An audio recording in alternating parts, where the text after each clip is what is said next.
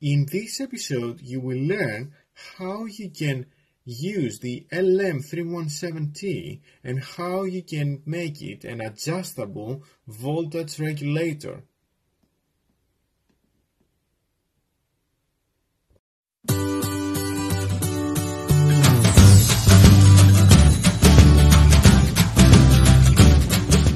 Hello guys, welcome back to another episode at IB Electronics World and today we are going to discuss about LM317 which is an adjustable three-terminal positive voltage regulator and it is capable to supply different DC outputs or a variable outputs with a maximum current at 1.5 amps. Of course, you cannot use, as you can see in my design here, you cannot use just only the LM317. You need to use some extra components, but I will go through that right now. Very important actually is the two resistors, one potentiometer here and one uh, resistor here. So they are required to set the output voltage. So practically the R1 is a, a feedback resistor and the potentiometer you can use uh, a 10 k let's say potentiometer and you will be okay with that and then the, the, the feedback resistor should be from 220 to 510 ohms. Very important is the, the capacitor in the input, it's just a filter so you, you can use uh, from 0.1 so actually if you if you go into the datasheet you will see exactly the values that you need to use for the input and the output capacitors, but I will explain why we use them. So we use them just for filtering for the input and the output capacitor it, it is uh, used in order to improve the transient responses and then it's an optional capacitor here but I have used it is if you are going to use uh, so so actually just an improvement of the, this design and um, and it's used to improve the ripple rejection. So actually it prevents of the ripple as the output voltage is adjusted higher.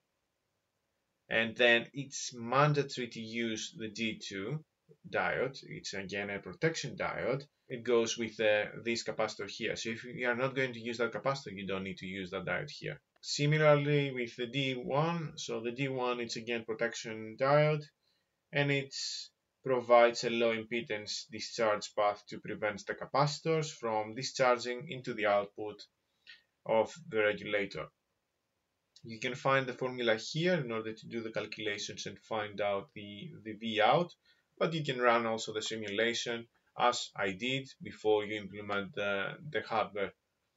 So if I will run the simulation, you will see that when uh, the potentiometer is equal to zero, the output is 20 almost 22.5 and you can see the current flow is around 21 let's say microamp and then if you just increase to the maximum let's say 100% you will see that the output is 1.25 and you can see that it's and we can adjust it by just changing the potentiometer value.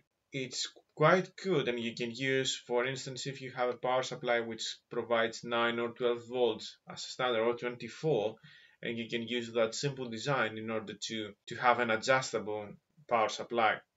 The main disadvantage of this LM317 it can be the voltage drop at the output or lost as heat across the regulator. So practically I will explain what this means. So if you can see in my simulation that when it's 0% the output at the max value which is 22.40 and the input is 24 volts so practically we have 1.6 voltage drop. Practically this is called dropout and also due to this dropout the voltage some form of the heat sinking is required. So we need to use a sink heat in order to cool the regulator otherwise it will get very hot and probably it, we are going to burn the component or it's going to shut down. But let's see in the hardware. So going back to hardware As you can see here, we have connected uh, DLM uh, 3170 and we have the capacitors for the input, output and the adjustable um, and we have the resistor here. We have the 10k uh, potentiometer and we have our multimeter here. And as you can see uh, I supply with uh, 12 volt uh, the input. Let's go and measure that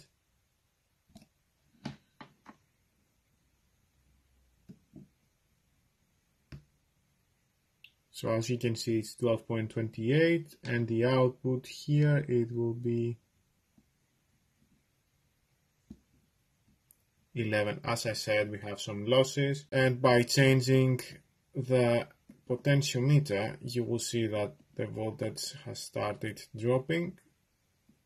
So we can just halfway through and then by maximize it you will see that we have 11 point something. So if I will increase our input let's say to 20 volts and again by changing the potentiometer position you will see that the output goes to 1.34 that was it for today. I hope you enjoyed this video if yes please subscribe and share and i will see you in the next episode